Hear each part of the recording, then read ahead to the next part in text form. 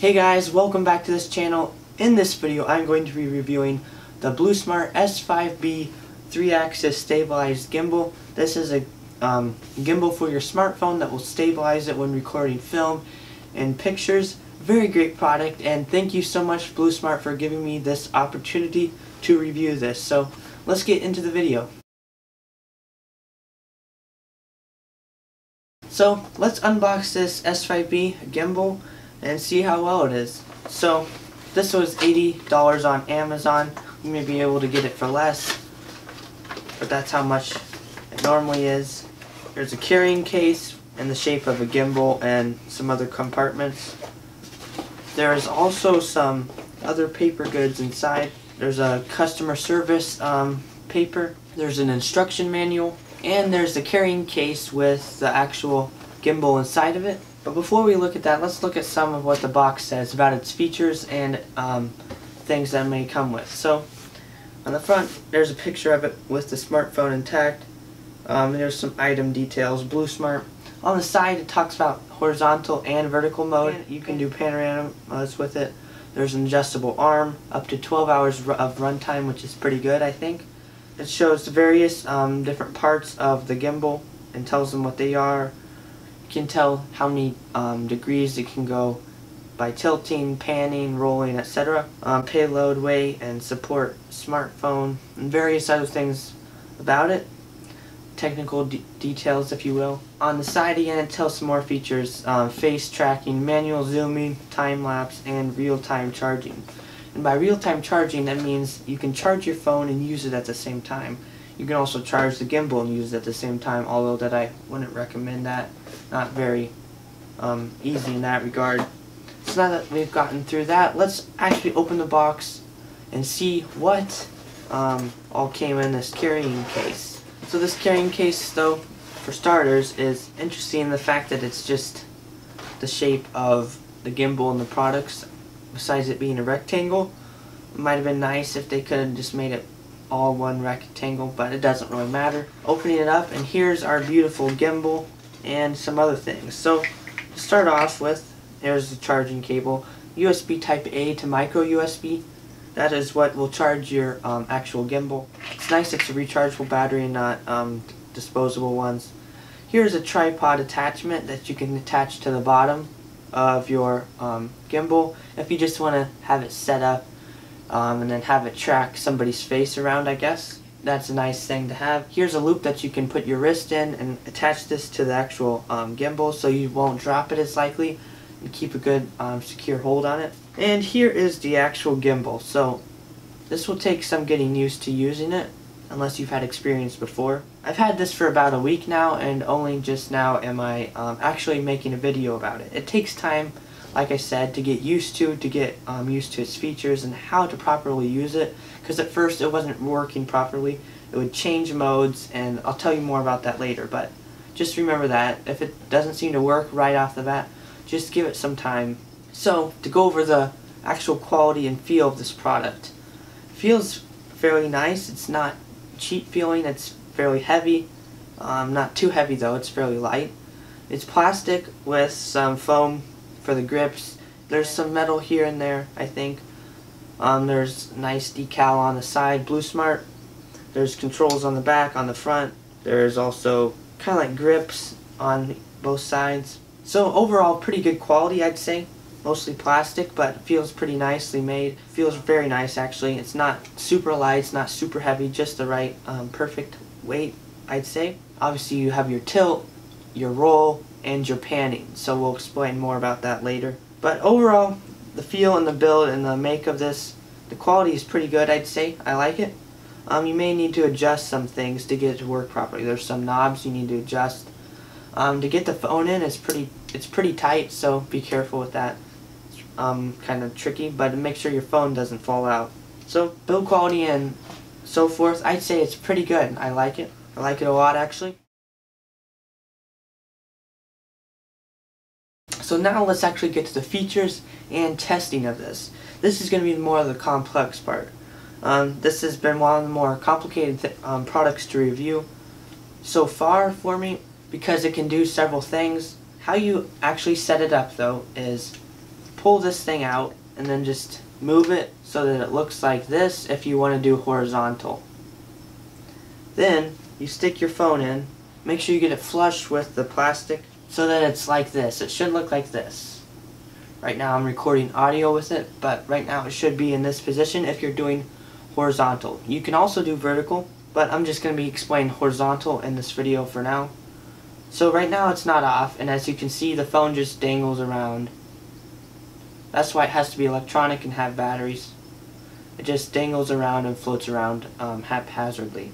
So to turn it on there's a power button. You hold that for 3 seconds or till all the lights blink on and they'll start blinking and they'll go to which mode. There's three modes and I'll explain that later but as you can see this is what a gimbal really is like. It balances for you and as you saw before it was flopping all over the place. Now it is stabilizing. It follows my hand movements and it stays level. I can go up and down. If I tilt like this it also changes the camera view down. So left and right, up and down, forwards and backwards it changes. Now as you just saw it just dangled um, out of position. This is a problem I've been having with this and I've kind of disappointed in that regard. So what I've done is I've taken the case off and I've noticed that I've had more success with without it. So I'll be taking the case off. And to turn it off, you hold it for three seconds or so or until it all disappear, all the lights disappear. So I'm going to take this case off. You may not have to, but it's what works the best. If you're having problems like I was, switching out of modes, then you'll want to take it out of its case. So stick it back in, make sure it's flush with the end. You see, put it back in this position, turn it back on till all the lights are shown on the right side of the joystick. And then back to how it was before. And it should not um, exit the modes without you telling it. It's pretty smooth. I like them. I like this product a lot. It's frustrating me when it hasn't worked, but I've gotten to know it better. So, like I said, up and down, left to right, both do different things. Tilting is when the phone leans inward like this or leans outward. Maybe kind of hard to visualize, but that's what it is. Panorama is going left to right. And roll is when you move the handle in and out, but it stays level. So that's basically an overview of what each axis is for. Tilting is for like leaning your head back and forward. Panning is side to side and rolling is when the rest of your body moves, you stay in the same position. Maybe that will help you visualize better. But that's, anyway, how you turn it on, how you install it, and how you um, use it with the first mode, which is AF abbreviated. This mode is pan and tilt follow mode. So, the camera pan and tilt follow your hand movements and they're unlocked, so to speak, and the roll is locked so that it won't follow your movements. It stay, makes the phone stay level. But panning, it follows your hand movement, and tilting, it follows your hand movement. So that's the first mode, which is abbreviated AF on the right side of your joystick, which it automatically boots to. The next mode is HF, which is pan following mode.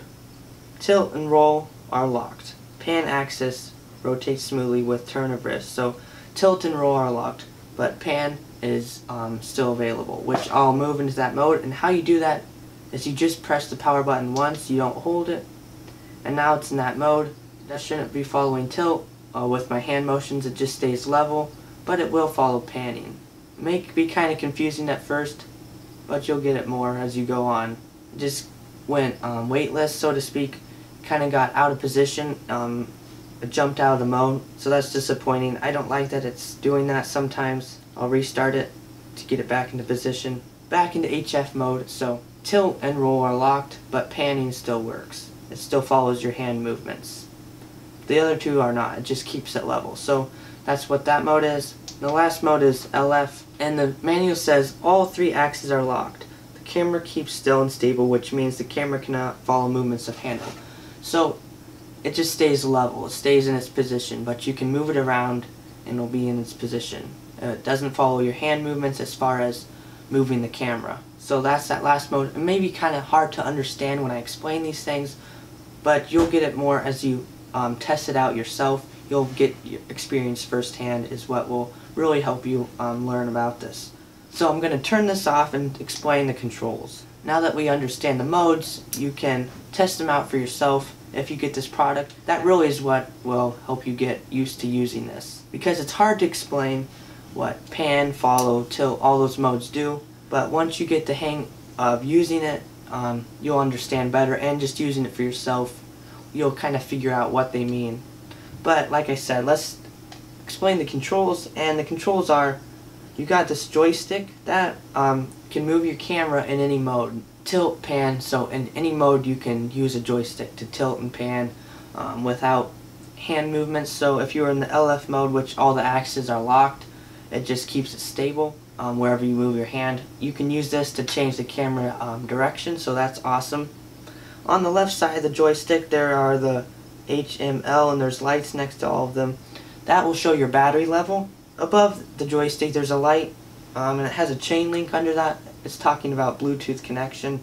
And you'll want to go to settings and tap on what appears when you turn on this um, gimbal. You'll want to connect it and from then on every time you turn it on it should connect if your Bluetooth's on. That will enable it to do better use of the controls. On the right side of the joystick is the modes I was talking about, AF, HF, and LF, and just to go over them quickly again, AF, um, you can pan and tilt, it follows your hand movements. Um, the roll axis is locked, but it keeps it stable, plus you, it follows your tilt movements and panning movements. The HF um, tilt and roll are both locked, so it just follows your pan and keeps it stable. The LF, finally, all the axes are locked. It just keeps it stable. That's where this joystick will be most useful in. Although, you gotta be careful how much you move it because the gimbal seems to jump out of its mode and the lights start flashing and the phone goes limpless and dangles around. I'm not sure all about that. I'll have to email um, Blusmart support or something to figure out and learn more about this this control over here um, is a dial, kind of like on a iPod click wheel. You just move it, and that should be zoom. may not work in the default camera app. They make an app themselves. I'll explain more later. And then this is the power button that turns it on. You have to hold it. Pressing it once also changes modes. Pressing it twice puts the camera back to its original position when you turn it on. So to the back of the device, you got this button. This is like basically a shutter button. Anyway, this starts recording and starts taking pictures. Above that you have your charging port for charging your phone while you use this if you want. You can put your USB type A um, cable in right here and then have your cord plugged into your phone. Now some people won't be able to do that because your charging port is obviously at the bottom so you not everyone will be able to do that. And then on the side you have your USB type C which you can charge your actual gimbal with so that's right there. So that's basically an overview of the stuff and controls on the actual gimbal. So, kind of complicated to explain, kind of complicated to understand. You'll get more as you use it if you decide to buy this. Obviously read the manual, read the whole manual. Sometimes it's um, easy just to say, I want to do this on my own, um, I can figure it out. Well, you need to read this because you don't understand unless you try it. Unless you've had a lot of experience with gimbals and such forth. So please read that. I'm going to explain these um, knobs that you can rotate. There's one behind the phone clip, which that makes it so you can change from vertical into horizontal modes. Um, it talks about horizontal mode. I'm not going to explain it in this video. In this manual, talks about how you can have the phone facing up and down like this, or I should say like this, so that you can record video like that. The manual explains that. But anyway, that's how you do that. Um, over here there's a knob, you may not be able to see it very well, but this makes it so you can adjust this unit right here, this whole unit my hand is covering, up and down. So when I got this, it was it would scrape the bottom of um, this piece right here, so I had to adjust it so it wouldn't do that. Now it's perfectly free, it doesn't hit anything, so you might need to do that as well. So there's the functions and features of this thing. They also make an app which you can download. It's called Gimbal Pro. It's available for free on the iOS App Store and should be on the Android App Store too. Here's Gimbal Pro. It has a picture of a gimbal plus a camera. Turn on your gimbal, press Find Device, and then press Stabilizer. So here is the actual app. there's various functions. It can do face um, tracking, various different functions. You can zoom with the dial now. It has more flexibility than the actual camera app that's stock on your iPhone. So that's that for the app. I'm not going to go into too much detail. I might explain more in the future. That's how you access more of the features that come with this gimbal.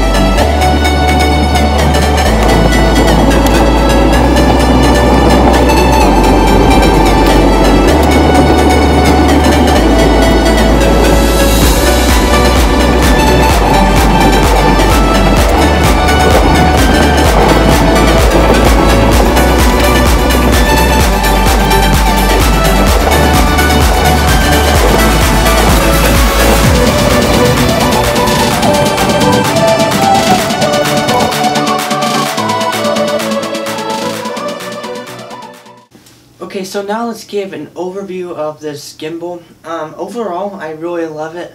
Um, maybe I should rephrase that to I really like it. Um, I'm disappointed with how it acts sometimes. Like it exits the mode and then goes limp and dangles around. That's very inconvenient. Maybe I can learn more about how to prevent that from happening. Um, overall though, I like this gimbal. The quality of the build and the quality of the build is very good. Uh, feels good. Um, it's not too heavy, not too light. It just makes me think of good quality for the most part. Um, I like the features that it has. Um, I like that it has an app that you can track faces and do various other things with. So I like the feature set, I like the build quality. Um, I like the gimbal overall. Just disappointed how it exits the modes. So the price, um, it should be cheaper, I think. It's not worth $80 or so if um, it exits modes and it's really hard to learn or hard harder to learn than some things.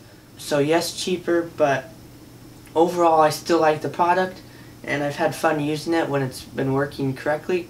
Be sure to rewatch the skateboarding video um, to get a feel of what it does and what it looks like. But overall I like this product, just disappointed in the exiting of modes. But like I said, build quality and feature set is great, price and how it exits modes should be fixed a little better. But anyway, thank you so much to Blue for um, giving me the opportunity to make this video. I, I appreciate the product. I like it. Just wish um, it could have some improvements. But other than that, it's a good product. And thank you guys so much for watching this video. Um, please leave a like. Comment down below what you think of this product, this video, um, this review, etc. Tell me what else I should review in the future or what I should improve on. And please subscribe if you thought this video was helpful or you like my content. It encourages me to make and continue to produce more video. Like I said, please comment, um, let me know how to improve, and I'd be happy to improve. So, thanks again guys so much for the 200 subs. Goodbye.